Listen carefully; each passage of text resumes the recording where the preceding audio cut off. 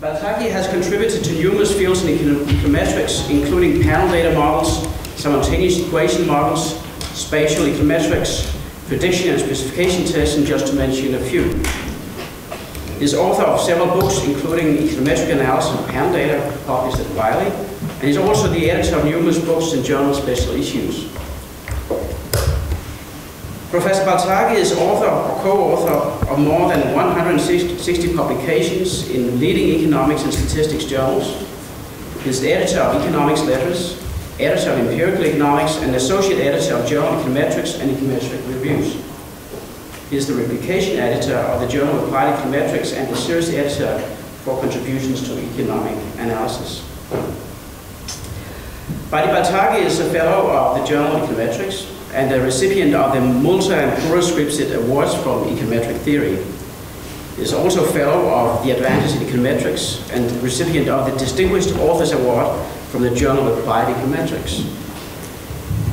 He is director and founding member of the International Association for Applied Econometrics. Professor Baltagi is one of the leading scientists in our profession and a truly distinguished speaker and we're looking very much forward to your talk today, uh, Badi, on panel data forecasting. And let me just remind you, this, this uh, lecture is being video recorded, so we decided to take questions after Badi has, given uh, has given his uh, lecture. Please go ahead, Badi.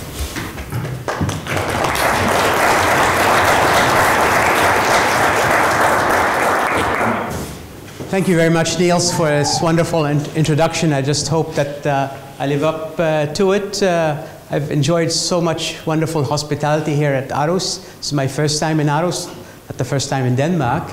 Uh, this is, of course, at the uh, kind invitation of Timo Teräsvirta, a good friend. It's nice to see him. Again, we shared wonderful times in uh, San Diego uh, with our mutual friend Clive Granger, beautiful walks, good econometrics, lunches with Hal White and Allan Timmermann and Graham Elliott and, and others. Uh, so I'm very, very happy to be here. Um, this is uh, obviously a, uh, when, when he told me I have to give a uh, distinguished series, I'm, I'm, used to being videotaped at the IMF, so I have to be careful to uh, uh, not to say any bad words or, or, or, take the mic with me to the, to, to the bathroom. Um, but I may make those mistakes anyway. As uh, I decided, since it's a, uh, a, general lecture, especially after the course with these wonderful students that I taught for the last two days, is to continue in, a, in that spirit of, of basically educating, giving you a survey of uh, what's happening in, in forecasting of panel. I don't promise that it is uh, up to date because this, this, uh, uh, there's a lot of stuff going on.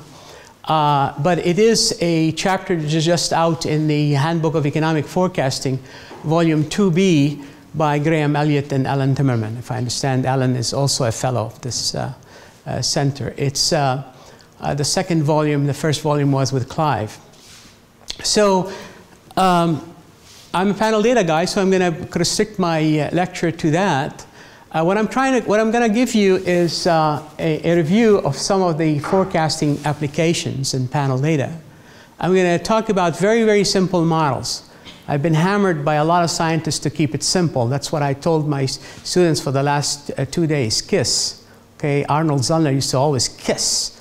You know, keep it simple. And I won't tell you the last S for uh, what it stands for, but, uh, and Manny Parzen and many others. So I'm, I'm, sure you're aware of that simplicity thing.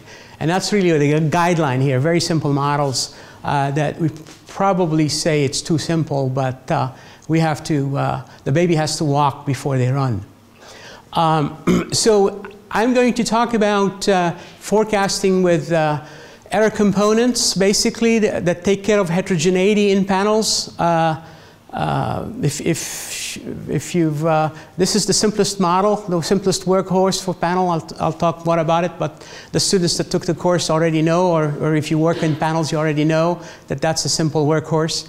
And then we're going to add some uh, serial correlation structure on it of the ARMA type. Uh, I'm, also going to uh, add to it some spatial dependence for the cross-section type dependence because uh, uh, ARMA type goes on a time series and there's two components here. I'm going to add equations of Ala-Zellner, equations with no endogeneity on the right-hand side. Those are simulated regressions. And um, I'm, I, am going to talk about uh, uh, some, uh, like I said, forecasting application, Monte Carlo studies, and uh, future work. There's a lot of work to be done here.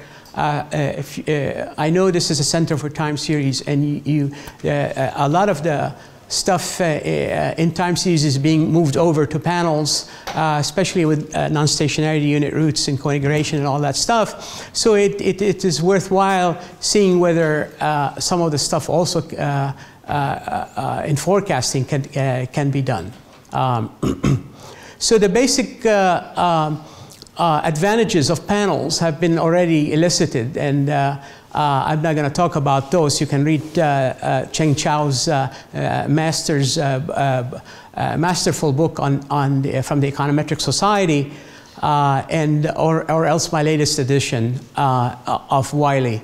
Uh, um, as I tell my students, shameless advertising. I make sure I advertise uh, uh, all the time.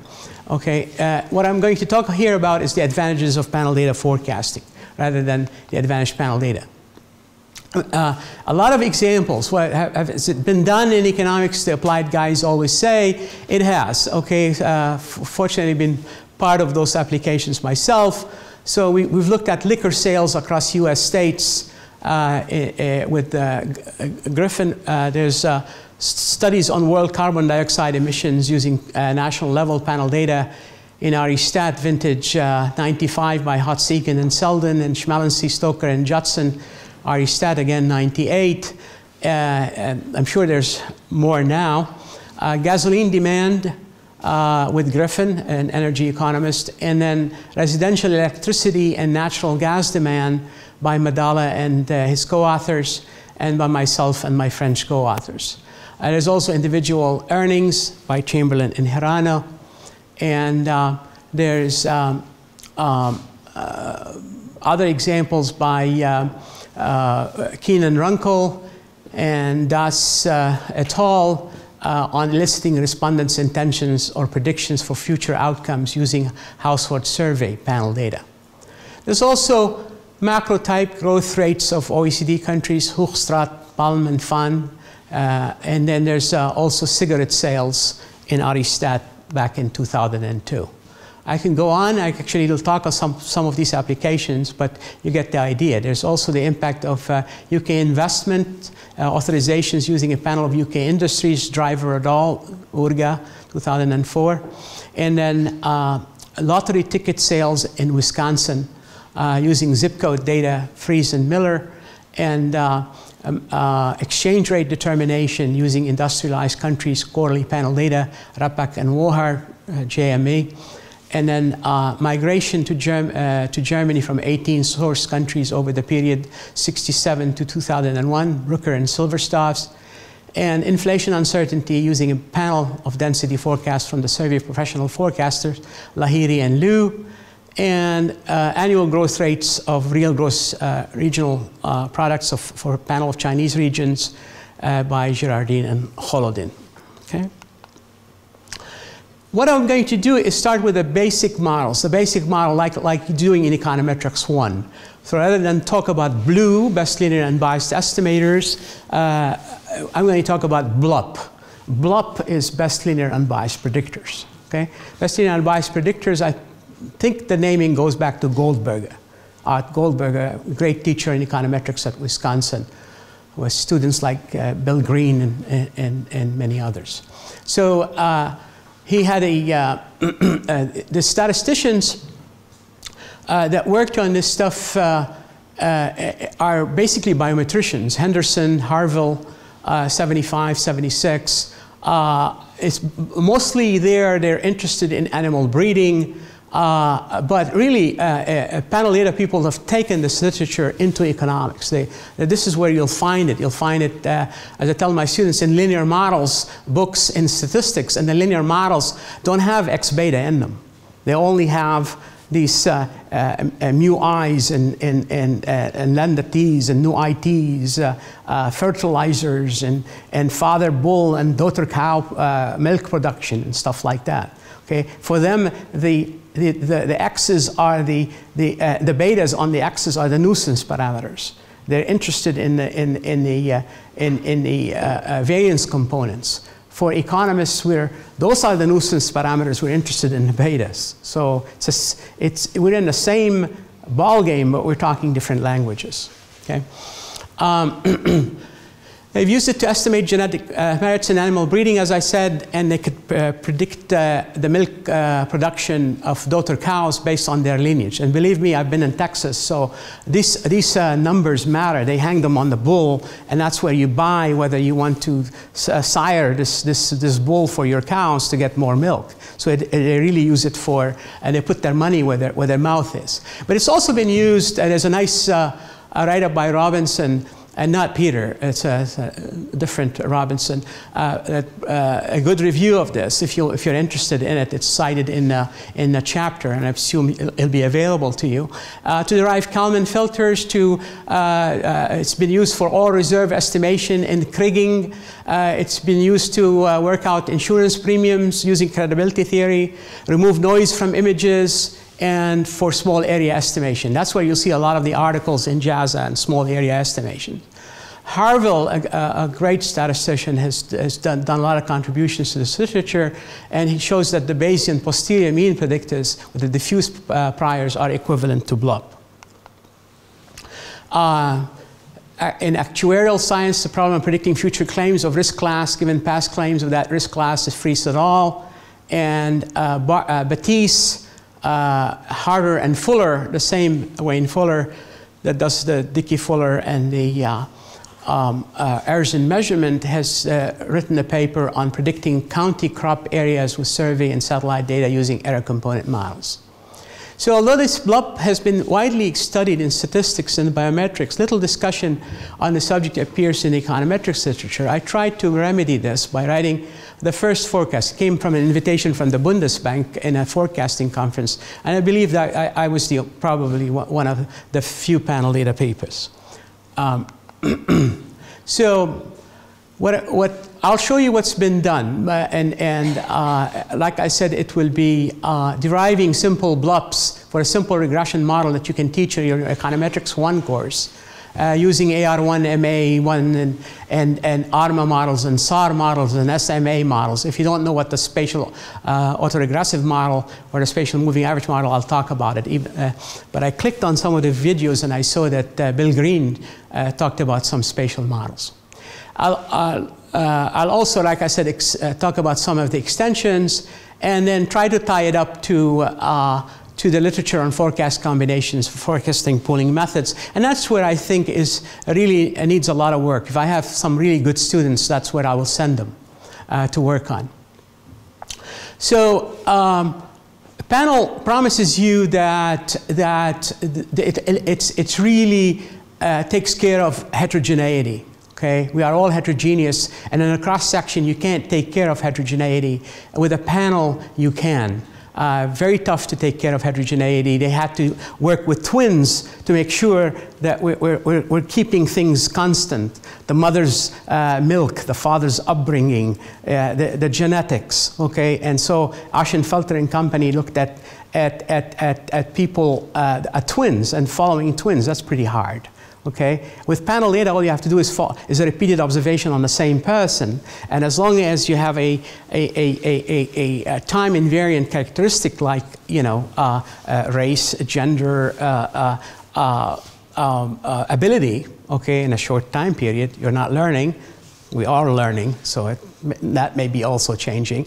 You can say that differencing across two periods will wipe out that, that, that characteristic that you have okay? Uh, and so with control for any time invariant variables. Unfortunately, there is no free lunch. The, you pay the price. The price is you actually uh, cannot get the, the, the, the, uh, the, the uh, effect of a time invariant variable that you are interested in for policy purposes. And that's normally what, what is uh, the, the, the, problem with, this, with these methods. Political scientists don't like it because they don't give uh, answers to these problems. Labor economists don't like it because uh, they don't, if, if, if, if you're estimating a Mincer wage equation and you want to know the, the, the, the, why females make less than males, you know, uh, uh, that's the dummy on a, on a, on a gender.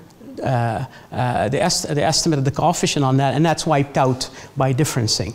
Uh, the same with race uh, discrimination, and the same with. so you're trying to control for ability, but you lose the the the, the, the discrimination case. You can't get estimates of that. Okay, and uh, the same with gravity equations in trade. You want to know whether a common language enhances trade, but common language is common language. It's not going to change, okay? And so it, it's wiped out. Democracy indices, all these indices now they're putting in growth equations and, and development and, and, and uh, seeing whether, whether, whether uh, if you're more democratic, well, you know, if you have countries with 40 years of undemocratic rule, that's, it's not changing very much in time. Even though it's not completely wiped out, its identification is hanging by its nails. Okay, so we got to be careful. So that's, that's, I think, one of the main uh, contributions that panels have done. They, you cannot control for heterogeneity in cross sections properly, I will claim. Okay, you're always lucky if you have another repeated cross sections or a panel because that's where you really can control for that heterogeneity. And it's really, uh, can be thought of as omission bias that would, that would bias your cross-section results. So how does that help? Well, in forecasting, it should help, and it does help. I'll show you in Monte Carlos and in empirical applications how much the gains are. Normally, you show how bad the cross-section results are with estimation with panels. Here, I'm going to show you with forecasting, it really matters, even if it's, uh, you know, post-forecasting with uh, uh, but uh, I don't want to say that that's the only model out there. There are skeptics. So uh, Pesaran and, and, and his co-authors uh, have uh, uh, generated a huge literature on heterogeneous panel models. So if the time series gets large, so these are not micro anymore. Micro is normally, as I said in my lectures, a tall and thin panel. Okay, very large N for individuals, very short T because uh, it's very expensive to, to, to, survey the same people over and over again. And, and never happens in, in poor countries, it only happens in rich countries, okay? Whereas uh, in macro panels, especially after the Penn World tables, we now have a, a huge literature on, on countries over time right? And so the T can be large. Or if you are in, a, in the stock market, you have an abundance of, of, of, of stock prices over literally daily, uh, daily uh, units. So your N, NT can be large. Same with marketing. When you uh, uh, swipe your card, you can, you, you, they know, uh, you know all the purchases and repeated purchases over time. Many consumers, many time periods. Okay, so uh, the asymptotics are, are uh, you have to be careful. Okay, it was clear before in micro panels the n large, t small, t fixed. So n n tend to infinity is obvious. But when we went to macro panels, and that was 90s, 2000, then we got both indices growing, and some applications aren't either. They're not even kosher, you know. Uh, uh, uh, and I'm guilty of that. You got 20, 30 countries, and uh, you know, 40, 50 years, so the T could be even bigger. Okay, most likely you'll, you'll uh, they could be of equal size, and 50 countries, 50 periods. Which one is going to infinity? Or is it enough for asymptotics? Okay, the asymptotics for that was was was uh, developed by uh, Peter Phillips and Roger Moon in an Econometrica in '99, telling us that joint asymptotics is not as easy as you think. Uh, is it going along the array from the origin? Is it sequential? It matters to the results of the estimators. Okay, I'm not going to go into that. That's another area that could uh, come in into the uh, the properties of your forecasts that, uh, that haven't been done. Okay, uh, so um, I will get back to the heterogeneous versus homogeneous later on because it, it'll matter in, in our. Uh, But at the end, if I don't have time, because I have too many slides, too many for, for the time allocated, you, you know, uh, uh, let me say what, what's, what's coming at the end. It's, the combination forecast literature uh, weighs in, I think, here, because if you're going to, uh, you either can pool the data and forecast, or you can keep the data separate, especially if you believe every country is different. Uh, they, they shouldn't have the same equation. And I have a very long time series, so I'm going to do my time series stuff on every country, okay? So, but this is a panel, so you know you should you should take it into account. You can take it into account by saying these are Scandinavian countries, they're correlated, uh, they, they, they affect each other, there's common factors, all that stuff that will help right, in the estimation and in the forecasting, right? Or uh, uh, you can forecast them separately and then combine the, the, the forecast. Simple, uh, with simple combination weights, like average forecast, discounted mean forecast errors, shrinkage forecasts, principal component forecast combinations, time varying parameter forecasts, or Bayesian model averaging, a la Stock and Watson or Timmermann. All right, so I, I said I will talk about homogeneous versus heterogeneous later on. I am not going to be uh, uh, doing justice to the Bayesian literature, which uh, always claims uh, to, to do better, okay? And uh, uh, there's, there's a huge literature on that. Zellner and his co-authors, and Koop and Potter, and Fabio Canova and Ciccarelli, okay? so that's where the survey is deficient uh, and you could find some more literature on that. So let's get started. The, the simplest model that I can put for you is our simple regression model. Uh, linear IT, I is cross-section, T is time periods. You can think of them as firms, countries, households. Here's the, uh, the, simpl the simplest uh, error component model to control for heterogeneity. The heterogeneity goes into the mu i. The mu i is unobservable.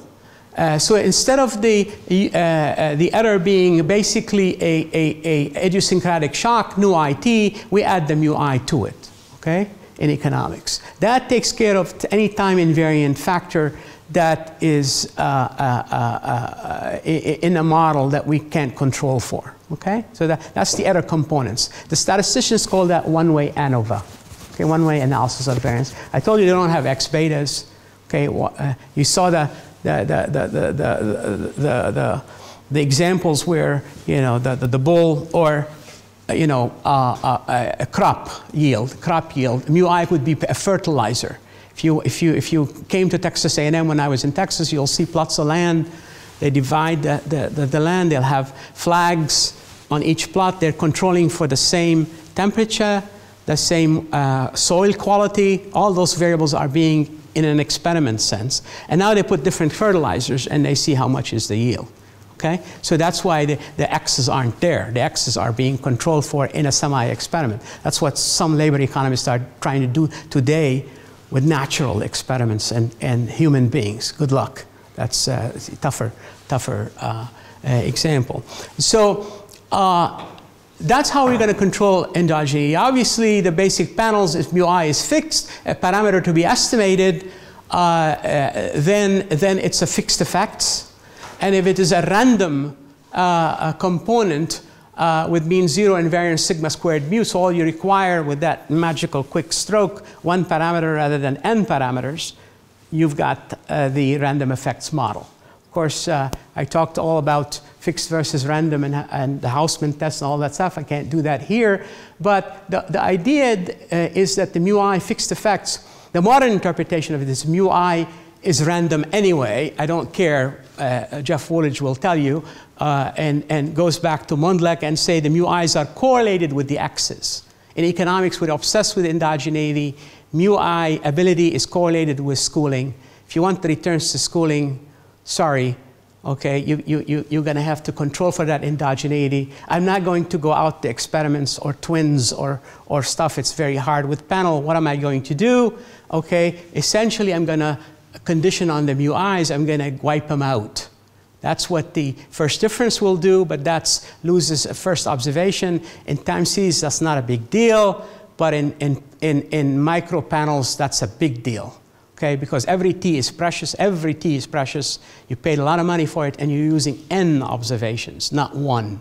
Okay, so so uh, uh, uh, I follow David Hendry, as I said, in, in the IMF, and he walks in and puts a lot of lags on the y's, and and and tell, you know until there is no serial correlation. Well, I, I tell him you can't do that in panels with a very short t, because every lag you're getting rid of an n okay? And five lags is 5n, and then you got a difference, that's 6n. Well, you're back to a cross section, okay? So, so uh, you got to be careful uh, with, with your lagging in, in a very short t situation.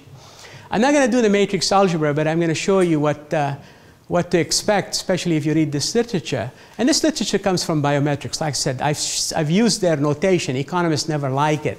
But uh, so, so here's alpha is the intercept, uh, beta is the slopes, uh, and uh, uh, uh, x means there's no intercept, z means there's an intercept in the, in the regressors. That's all it means. And then the error term, remember the mu i is of dimension n, and n is large. Okay, so n, n individual effects. and, and when they are n parameters, and, and the asymptotics is on n like in micro, remember every new observation, if you're talking about asymptotics, will bring me a new mu i. So every new individual gets his own mu i. He's special.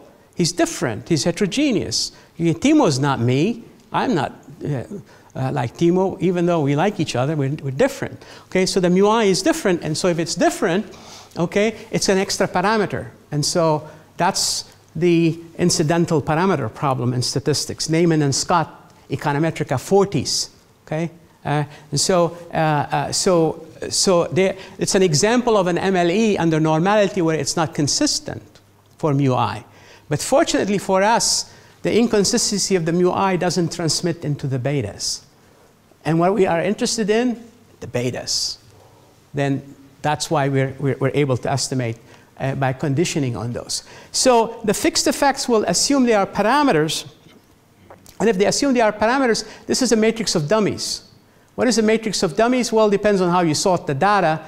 If you sort the data such that the, uh, uh, the, the, the, the, the, the, slow index is i and the fast index is t, the turtle and the rabbit, as I, told, I called it in my course, okay, the rabbit is t, the turtle is i, okay, then when you put the dummies for the mu1 up to mu n, you have to add mu1 here, you have to add mu2 here, you have to add mu n here. The dummies have to look like this. This is a vector of ones always, and the dimension is right there. Uh, so this is a vector of ones, and it's put next to an identity matrix of dimension n. That's how the computer will print out your dummies if you sorted the data like that. Of course, nobody enters those dummies. You create them now beautifully with any matrix language. The random effect says that's too much, the statistician says too much loss of degrees of freedom and parameters to estimate. So we're going to estimate only one parameter, sigma squared mu, but the, they're drawn randomly. By the luck of the draw, God gave you this mu 1. It came from this distribution with mean 0 and variance sigma squared u. Okay, easy trick with one variance for the heterogeneity. Okay, the idiosyncratic variance. Your omega is going to be fancy. It's going to be block matrices. I don't have time to go through that. But you, up to a scalar, you only need to estimate one parameter, just like an AR1 model or an MA1 model. That's why I say this is a, a, a simple model, a, a, a quick uh, model. So the omega under an error component model will be this, and there are tricks to, to, to show you that actually this can be rewritten as a, this is the spectral decomposition of omega. This is the averaging matrix. This is the within matrix. This in, in, in, if you pre-multiply the model by this matrix, you'll get the, the, uh, the average over the whole time period. It's, it's back to a cross section, and that's called the between regression. This is uh, i minus p, so this is y minus uh, y bar, but y bar only over t for each country. And so that's the within regression. So this is the within regression, this is the between regression. If you forget about these sigmas, if you add them up, you'll get OLS, equally weighted within and between uh, variation, okay? But if you weight them by their variances, you'll get the random effects. The random effects is a fancy generalized least squares, okay, that takes care of heterogeneity through the variance. The, the, the reason why it's not as uh, so popular is because it assumes it's uncorrelated with the x's. And I told you in economics we're obsessed with endogeneity, okay? All right, so you got to pass the Hausman test to get into the endogeneity. Okay, so uh, obviously, even with fixed effects, you're not going to be able to run a, a, regression with the dummies unless it's only 50 states or 30 countries or whatnot. If it's 5,000 individuals, you, you, you, can't put 4,999 dummies. You say, I can, I have a powerful computer, but you shouldn't. That matrix may give you a generalized inverse that's not good.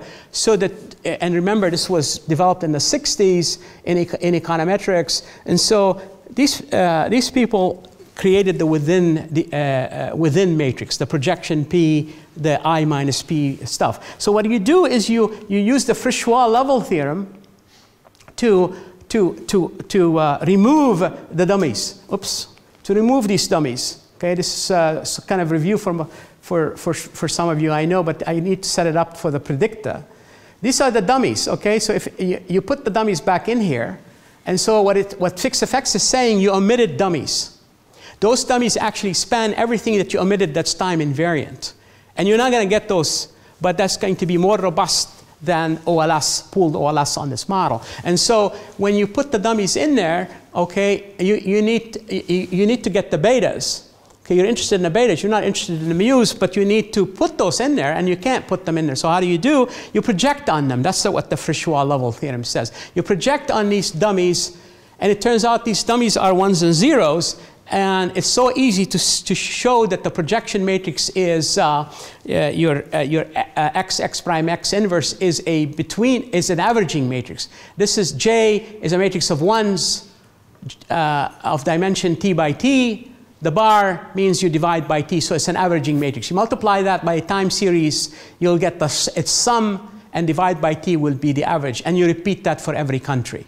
So that's the yi bar in, in, in, in econometrics. Uh, and the, the, the Q matrix is y minus yi bar. That's where you remove, this is where you remove the, the mu i because you subtracted the average. This is where the mu i lies in, in, in a projection on this, the between regression. Okay, so at the end of the day, you could have run, so far you've developed, the, you could run pooled OLS ignoring all the heterogeneity, uh, whether fixed or random. Or you could run the fixed effects estimator, which puts the, uh, the dummies uh, there if you can, but if you can't, you do a within regression. Or you do a random effects, and that's the, uh, the, uh, this, this, this uh, Aitken estimator, the best linear unbiased estimator that I need, okay? But, but this is knowing omega. So you need to estimate that. And obviously you cannot invert an NT by NT matrix when it's 5,000 individuals, 10 years, 50,000 by 50,000 by giving it to the computer. So you need the inverse of that. And the inverse of that comes beautifully from the spectral decomposition. Since this is the characteristic roots, turns out to be the characteristic roots, and P and Q are the matrices of characteristic vectors, and they're idempotent and sum to the identity, the, the answer is simple. It was given by Fuller and Battese in JASA and uh, in 74. And, and um, the, their answer was you pre-multiply by omega minus half and do OLS. The omega minus half turns out to be so simple. This is the within, this is the between. At the end of the day, it's a simple transformation that you can do with Excel. YIT minus theta yi bar. That's why random effects was so popular. You just run a, an OLS regression just like uh, you would run the within now by uh, yit minus yi bar. The within is just q, the between is yi bar. Really, this is where you see it's a weighted combination of both. Now, where do I estimate the theta? The statisticians tell us that the best quadratic unbiased, this is the best you could do on these variances, is by taking quadratic forms, because they are quadratic, variances are quadratic, in the U's, in the true disturbances. Okay, with P is the averaging matrix, so a simple calculator formula, or a within average, a, a deviation from means average. Okay, the only problem is, even though this is an estimate, best quadratic, it's based on, on the true uh, disturbances. We don't have the true disturbances. Okay? But remember, the statisticians did not have x beta, so they actually had the yield They had the milk, they had the output. They didn't need any of that stuff. So if you read Graybill or you read Shayle Searle at Cornell and biometrics, that's what you'll see. The economists came in and said, okay, we will plug in OLS residuals, we'll plug in fixed effects residuals. Wallace-Hussain, uh, 69 Econometrica, Amemiya, uh, uh, uh, International Economic Review.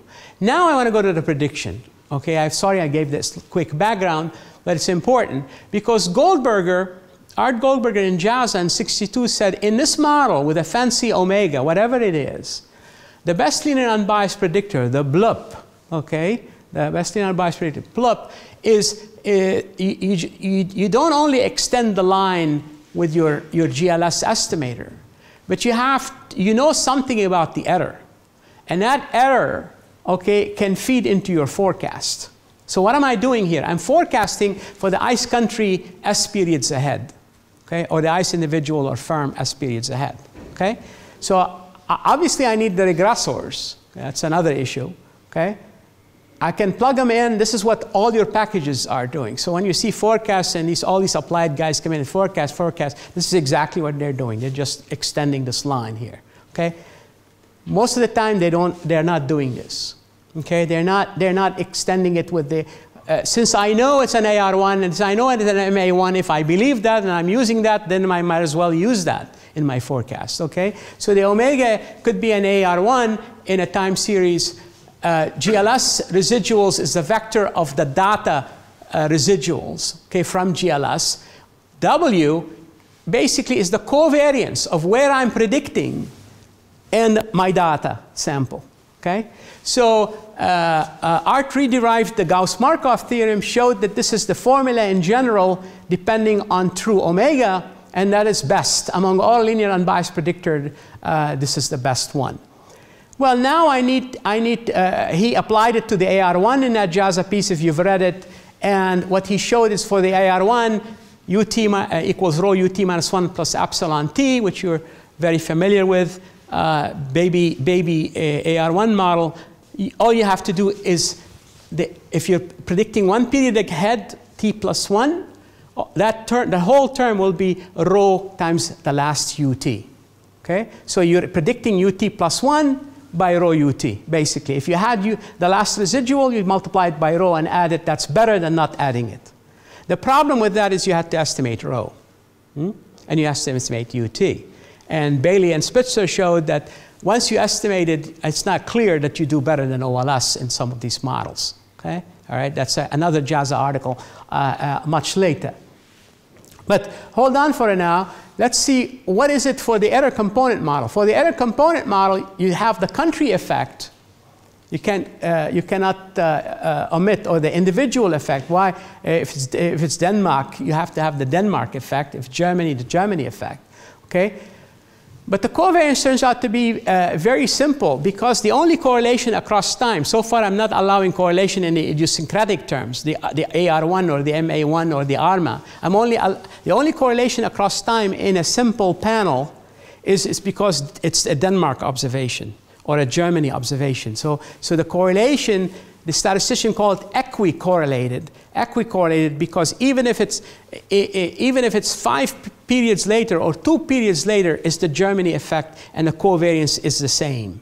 Okay, okay. I tell my students the patient is not dead if you plot the correlogram. It's it's it's beeping like this, but but, but it's equal. It's always equal. It doesn't die out like an AR1 or one blip, blip like an MA1. It's, it's always there, equicorrelated matrix. So that's what we'll do. We will actually correct with this omega uh, and this variance covariance matrix that I spent time to show you, uh, uh, even though it should be uh, obvious to panel data people. Okay, and so with this omega and this rho, uh, remember, I need omega and I need this uh, uh, little omega, okay, or W. And this uh, little w turns out to be the, the, the effect of, of that country, okay? The effect of that country. So this whole term that I need to add to my predictor from a random effects regression turns out to be this term. What is this term? This term is the is the uh, uh, residuals for that country averaged over time. That's where its effect lies. That's why it's going to give me more information for that country effect, weighted by the variance components. This was derived by Taub in Journal of Econometrics in 79, but it was also derived by Wansbeek and Kapteyn, literally in a, in a related matter, and by uh, Griffith uh, and Lee, uh, Lung-Fei Lee, in, in a non-published paper a uh, long time ago. Uh, and they gave it a Bayesian interpretation, actually. So in any way, this is the published one. So this is the, the predictor. Just like uh, a, uh, uh, um, uh, and, and, there's the, the citations. But this assumes the true values of the variance components. So if I plug in estimates of them, what's going to ha happen? Okay? Well, the statisticians had already taken care of that. Kackar and Harville proposed inflation factors that account for additional uncertainty introduced by estimating these variance components.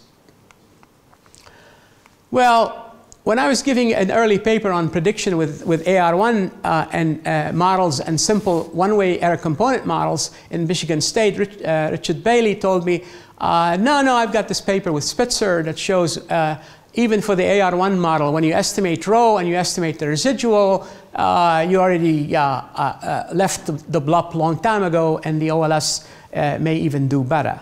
Well, we wrote a paper together. This paper is in, uh, in a volume in honor of uh, G.S. Maddala. It's, it's uh, uh, uh called Qualitative Limited Dependent Variables and Panel Data, Cambridge University Press, 99, edited by Hsiao Pesaran and two of Maddala's students, Lung-Fei Lee and Kajal Lahiri.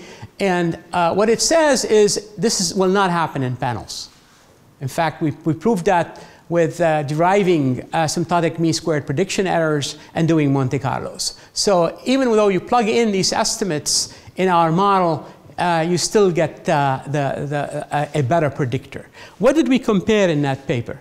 We compared basically the MLE predicting uh, uh, uh, this T plus S, assuming normality.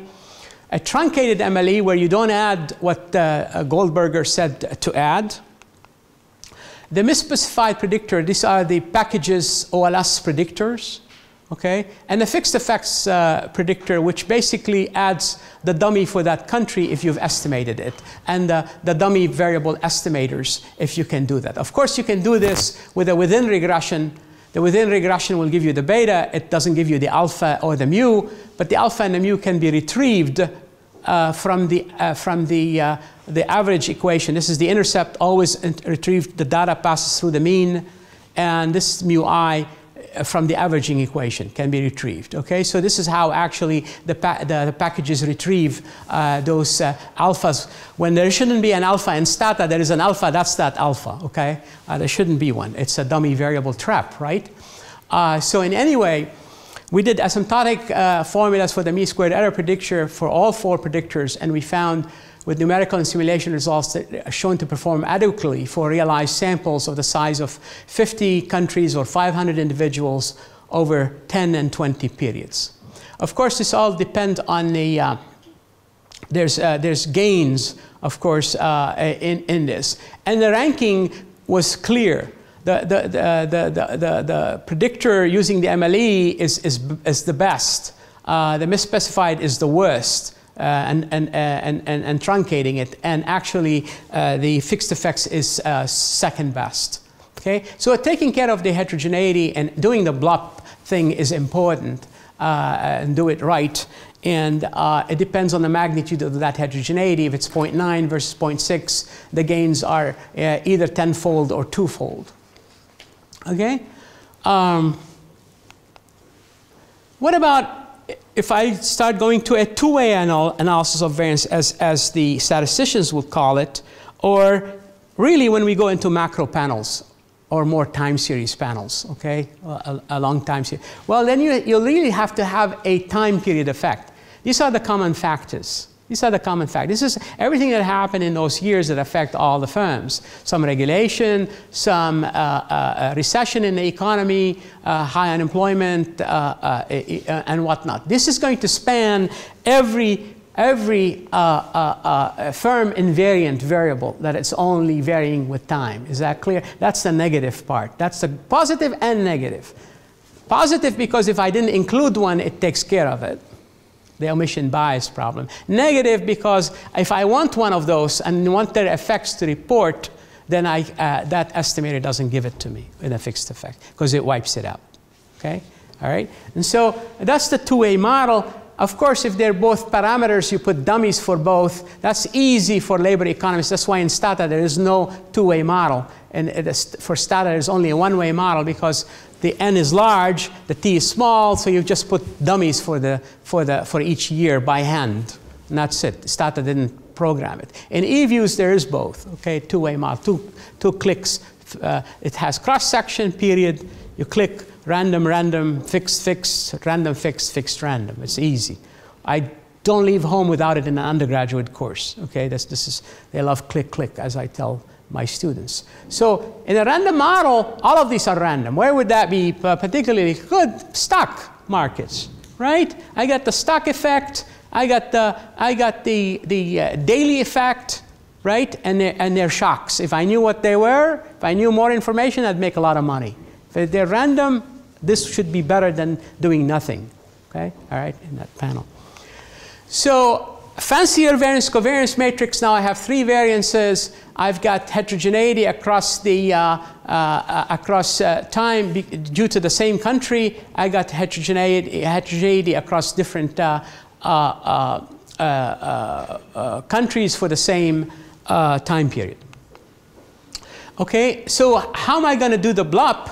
Well, I, I've got a fancier omega the variance covariance matrix, surprisingly, if I'm predicting for the ith country, even uh, uh, five, three, two periods ahead, is still the same covariance term because I'm not allowing the lambda t's to be correlated, and that could be extended for allowing that. And um, the predictor uh, derived would, would look like this. It would depend on the averages of the, of the uh, residuals, again, the average over time of the residual, the total average, and these variance components.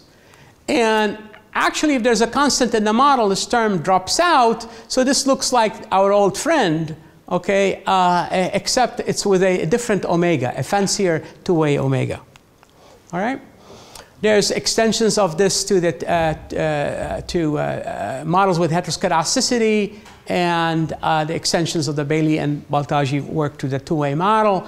I'm not going to talk about that because I don't have time. But how do you predict even a, with a, with a two-way model, even using, uh, uh, well, I showed you how to do that with the random effects model. With a fixed effects model, there's a problem with time. You don't know the coefficient of the, of the, of the future time periods, right? But economists are resilient. So in, in predicting, in predicting uh, carbon monoxide uh, uh, uh, emissions, dioxide emissions, my chemistry is bad, okay, 98, what they did is they basically put a, a, a, a, a on the lambda t a, a, time uh, uh, uh, regression, essentially. Okay? You see it's now a linear trend plus a, a, structural uh, kind of break at, at, at 1970. That's what they did in their RE stat. Okay? Um, and they actually made it nonlinear in a second uh, version where they put log here uh, minus 1940. Okay? Although these two time effect specifications had essentially the same goodness of fit, they result in different out-of-sample projections.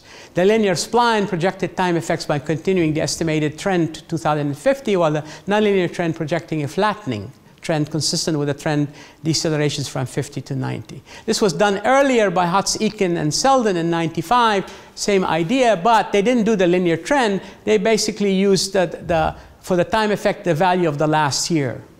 Okay, the last year. So they assumed it constant as the last year.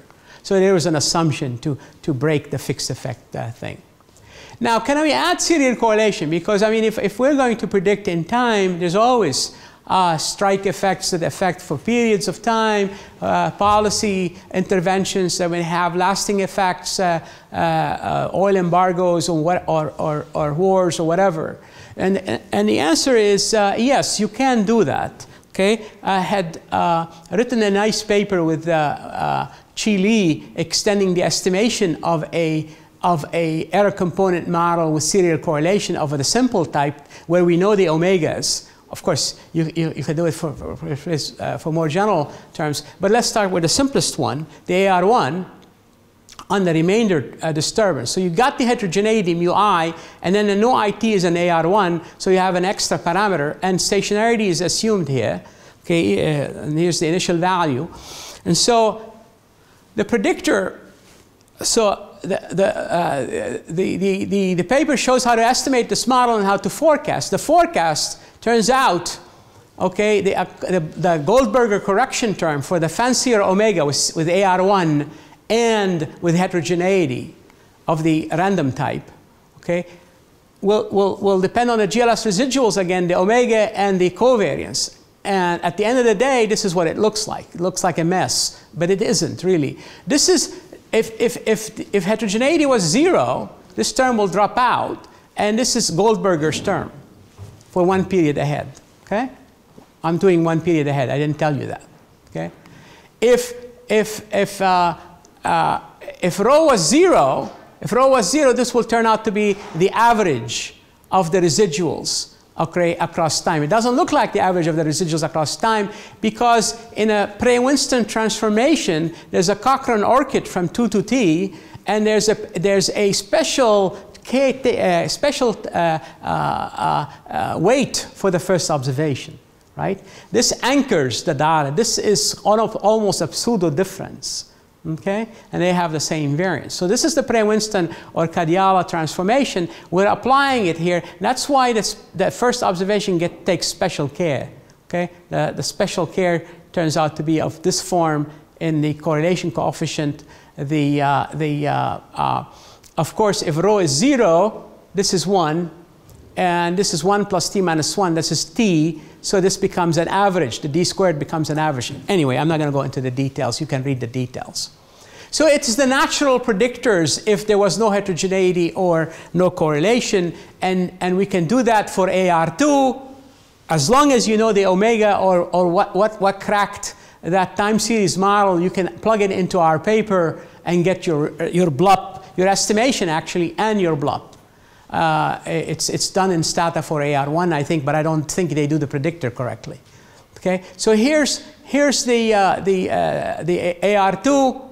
So you correct like a Cochrane-Orcutt for the first two periods, and as usual, there's the, uh, there, there, there's the average of the residuals transformed uh, with rho, of course, or the Prais-Winsten, where the first two observations get special weights. The rest are equally weighted. Okay, it sort of makes sense or it makes sense to me. Okay, anyway, here's a special quarterly uh, uh, AR4 model of Kenneth Wallis uh, for seasonality. Uh, you can do that. That's a special omega. That's what it looks like. You go, you go UT uh, minus 3, and then the, the average would look like that. So all of these are formulas to correct your predictors to get a BLUP. Of course, they all depend on these estimates. For an MA1, we've also done that. You could do that sequentially. I'm not going to go through the details. This is an econometric theory piece, and um, you can you can um, uh, extend it to uh, ARP, MAQ, uh, and uh, actually Zinde-Walsh and uh, um, Zinde-Walsh and uh, what's the other fellow at McGill? Galbraith extended the estimation, but the, the, the, the, the forecast hasn't been extended to an ARMA type model. Uh, if you want an, uh, a, uh, the application by Miller, uh, for, uh, by Frees and Miller on uh, sales of lottery tickets in Wisconsin was actually with serial correlation. So they had 50 zip codes in Wisconsin selling lottery for 40 weeks. The first 35 were, take, were used to estimate the model. The remaining five were used to, to validate the model with forecasts. And using mean absolute error criteria and mean absolute percentage error criteria, the best forecasts were given by the error component model with AR1 disturbances, followed by the fixed effects with AR1 disturbances. The fixed effects does well as long as you're not, uh, you know, you're, you're, you're, uh, you're not predicting uh, the time effects, okay, because that, then you have to make strong assumptions. We can extend this to spatial correlation, and spatial correlation really is, is, uh, was invented for, uh, you know, uh, for, for uh, cross-section dependence. right? We, we normally assume we randomly selected the, these, these people, they should be uh, uh, IID independent. But, but once, once, we start, once we start looking at networks, neighbors, okay, then there's correlation, okay? And that's now very popular, whether in economic theory, the networks, or, or whether in, in, in econometrics. I don't have to convince urban economists uh, uh studying housing that neighbors, neighbors, neighbors are important. You know that the price of your house is all about neighbors and where you are. Okay? And if there's a lot of crime in your neighborhood, then your price is low. If, it is, if, it is, if, if all your neighbors are rich and you're the economist, you bought the cheapest house, you're doing well. Okay, all right. So, so and there's spillovers. Okay, if there's crime in in, in, in a one mile area, it's going to affect you. If there's if there's uh, so anyway, that's that's the uh, spatial effect. These geographers draw uh, or the uh, uh, draw circles. Okay, mile, two mile, three miles. Those defines my neighbors. Okay, or make it proportional to distance or distance squared, weighted all to equal one and make the, your price dependent on your neighbor's price. Okay? So there's a lot of structure there okay, in the spatial model. It, uh, that's why economists are resistant to that type of model. But it's a simple model like time series AR1. Come on, we don't believe it's UT rho UT minus 1 plus epsilon T. But it's a nice way to start, and then you can sophisticatedly uh, study something more. So that's what the spatial guys do. They do U, uh, U, U is rho W uh, uh, uh U plus epsilon. So here's, I'm sorting, that, I'm going to sort the data differently because I need the houses. I need the houses in, in, in each year. So now I'm, uh, the mu is, is not time varying. The phi is the, the idiosyncratic time varying variable for the n houses. Okay? All right? Here's this, the SAR, spatial AR model. They call it AR even though it's not a lag. Okay? The, it's your neighbor. Yeah, the disturbance of your neighbor. Your neighbor was robbed. You're, you're going to get that shock. Okay? All right? There was a fire. It's going to affect uh, your, the price of your house. Is that clear? Okay? The parameter is lambda, just to keep it uh, different from the rho okay, of an AR1. And the W is a spatial weight matrix. That's what I said. I don't have problems with geographers doing, you know, GPS, mapping your distances, your coordinates, and seeing how, how different, how far you are from another. Trade economists use it all the time, right? Distance, uh, capital to capital, port to port, to, to, to, to, see the effect on trade, but they use it as regressors. Once you start putting in a W matrix, they scream bloody murder. Okay, well, that, that's what it, that's the one mile radius, the two mile radius, the three mile radius. Okay, uh, you're either my neighbor one or zero if you lie there, or, or not, or by the distance measure, or you know some get more sophisticated, commuting distances and whatnot. I don't have a clock, so somebody has to tell me how. What? One hour has gone. So. I'm done. Well, well one hour has. has okay, and I have only one hour. You have, you have five ten minutes left. Okay. Well, you should say so. Okay. Sorry about that. I, I went through the easy stuff. Uh, I still have uh, a uh, hundred slides. See, this is what I told them. I'll teach you all day if I can still keep uh, standing, but I am not. So I'm going to go a little quickly here just to give you a, a, a, view from the forest. You can read the chapter. Hopefully, uh, uh, it's, it's there. You bought the book, the, the, the Timmermann, it's in your library, so you can get the copy of the chapter it gets fancier. So the, the fancier matrix now looks like the old panel thing here, but here it depends on this uh, spatial weight matrix. Okay? The weight matrix, uh, like I said, your error is related to your neighbor's error. Okay? The W is well specified. It's distance or ones and zeros. Okay? And you only you, you put zeros on the diagonal because you don't want to relate your own disturbance to your to your disturbance. You want to relate it to your neighbor's disturbances. Okay? And so, in any case, the, the, it's not as pretty as the simple error component model, but the, the, the degree of computation becomes less because uh, it's not nt by nt, it's really n by n. So the problems that the, that the cross-section people have in computation of, of, these, uh, uh, of these MLEs, like uh, Luc Anselin, uh, a very nice place to start, uh, old book now 88, uh, it, it, the same n by n dimension is still the same in panels. So this we, uh, I did with Dong Li, one of my students uh, who was at Kansas State. Uh, and, and what, what we did was we, uh, we allowed for uh, uh, the uh, spatial AR model in, uh, in estimating cigarette demand and liquor demand in the United, United States, comparing doing nothing OLS doing fixed effects with spatial, doing random effects with spatial, and uh, uh, we also uh, have done this for the spatial moving average model. Notice the spatial moving average model, they're on this side now, okay? Which makes sense to the time series people, right? But there's, there's no lags here, okay? All right. And then, um, um, so, so the, the, the, what we derive here is the predictor for a SAR or an SMA with heterogeneity. And obviously it will depend on the uh, heterogeneity components, S theta that we saw before, and the elements of these W matrices that are that define your neighbors and give them weights. Okay? Does that help? Yes, it helped in the cigarettes and in the liquor. If you rank, uh, uh, of course, this is an application, so you don't know what the true model is. But given that you, you've uh, you specified the model correctly, you had 46 states here, contiguous uh, states, 63 to 92. We removed Alaska and Hawaii and uh, we do spatial uh, correlation by just whether you are a neighbor geographically, okay, so you could do more sophisticated stuff. The predictor comes out, uh, the random effects is the best, fixed effects is second best, and doing nothing is the worst, okay?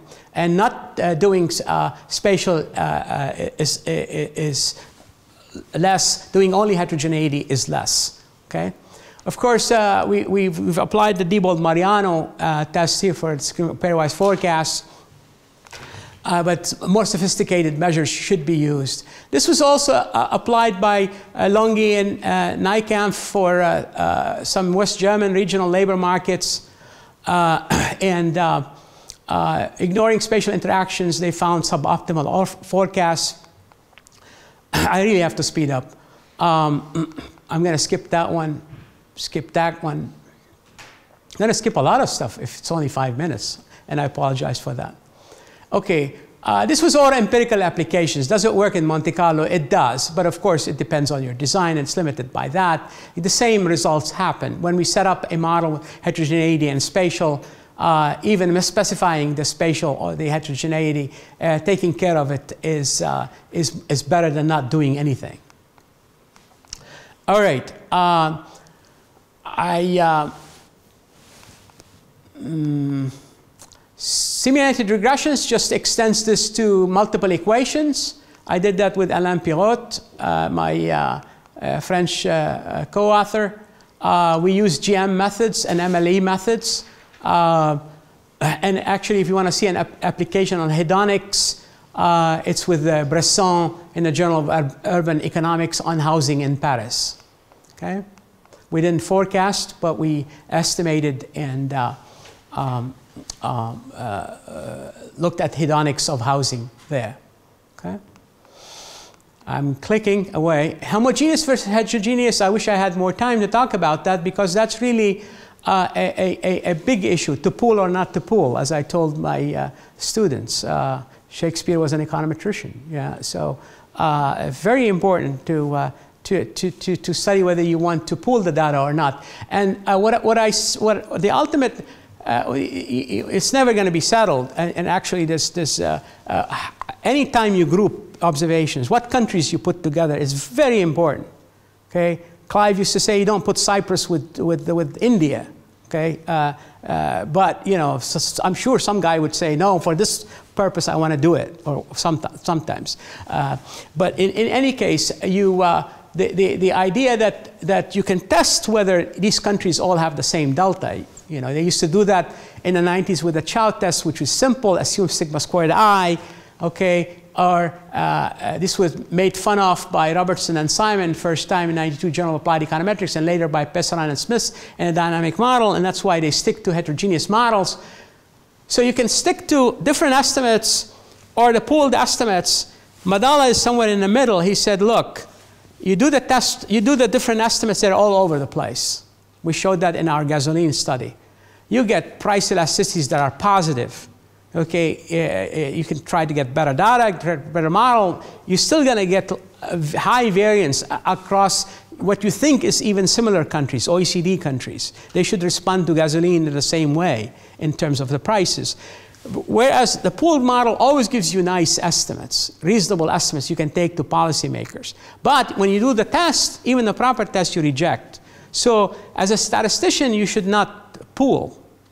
Okay? As an economist, you can't give these estimates. And so you actually can combine them some Bayesian way, right? Maddala said shrink, shrink the, the, the good estimates. If you want an estimate for California, okay, take the national estimate and, and, and, and shrink it. And the shrinkage factors uh, could, be, could, be, uh, could come from, uh, from uh, Bayesian ideas or from the F statistic for testing the, the regression. I promise to go faster, okay? So uh, I know you're looking at the clock here. Um, so we did that. We did that in a lot of racehorses. So I, I took our gasoline data and I did a racehorse. I, I said, I don't know what the true model is. This is a, a, a, model for gasoline. Of course, you can criticize the model. Let's look at the, the heterogeneous models. Let's look at the homogeneous models. Let's look at Bayesian models, and let's forecast. Let's take away some, some years and see how it does one year ahead, five years ahead, 10 years ahead. And by, by uh, if you look at that RE stat uh, piece in the Journal of Econometrics piece, one on gasoline and one on cigarettes, you'll see that the simple estimators always were among the top estimators in, in forecasting. So in a, in a, uh, in a uh, uh, uh, horse race like that, this, this happened. This happened in other applications. I don't have time to go through them. Driver and in, Urga, Urga, and it happened in in uh, macro applications, uh, uh, the, the article that uh, I wanted to talk about was uh, Rapach and Wohar. But um, uh, to, to, look forward, okay, and, and, and maybe I, I, I, can finish with that. To look forward, um, we really look, should look at the, uh, the pooling of forecasts versus panel data forecasting. Uh, uh, literature and really try to, uh, to um, do better things in panels, okay? Uh, why do you uh, uh, combine forecasts? Well, I'm not going to go through what Timmermann has already written, but, but it's Uh, uh, important uh, to do that. And maybe there's something that we can do with, with the heterogeneous forecasts much better. Uh, uh, it's, it's not been done, okay, especially with structural breaks and uh, other, other stuff. Um, read the Rapach and Wohar article. It, it has some of the stuff for a monetary model of exchange rates. And uh, it, it, talks about how some of the uh, estimates were not plausible uh, so, in, in, when they were heterogeneous and how they're plausible when they're homogeneous. And how they performed an out-of-sample forecasting uh, for a panel versus country by country root mean squared error for a 1, 4, 8, 12, and 16 step ahead. And uh, uh, they basically uh, follow our lead and uh, discuss this uh, in a similar way. Okay. Okay. Um, there's more recent literature on, on uh, uh, diagnostics uh, for these, uh, uh, uh, the, the Theil's U, the Diebold Mariano, the S by Westerlund and Basher. and um, there's, um, um, okay, I should have better timed myself here. Mm. Okay, there's, there's also uh, um, more sophisticated model, one in the, in the, in the JBS by Pesaran, uh, Schuermann, and Smith, uh, forecasting 134 economic and financial variables for 26 regions made up of 33 countries, cover about 90% uh, of the world output. And what they use is a global VAR model over the quarterly period Uh, building on the forecast combination literature, the effects of model and estimation uncertainty on forecast outcomes are examined by pooling forecasts obtained from different GVAR models estimated over alternative sample periods. Given the heterogeneity of economies uh, considered, as well as likelihood of multiple structural breaks, averaging across both models and, and windows make a significant difference. That's his idea. If you want, you know, he averages his estimators pool being grouped and averaging forecasts here. Using panel version of Diebold-Mariano, they conclude that double average GVAR forecasts uh, perform better than the benchmark competitors, especially for output inflation and real equality prices. Skip that. Forecasting aggregates versus aggregate forecasting, I'm not going to go through that. I'll let you read that. And I think I should stop here because I don't want to make my host unhappy. Okay. Thank you.